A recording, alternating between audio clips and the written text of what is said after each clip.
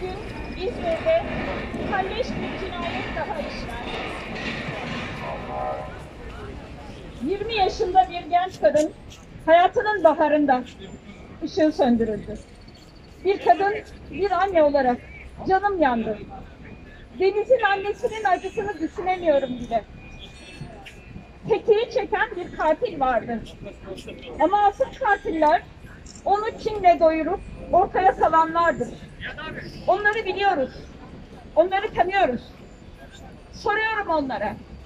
Yıllardır nefret tohumları atarak, gencecik insanları birbirine düşman ederek, öldürerek, öldürterek neyi hallettiniz?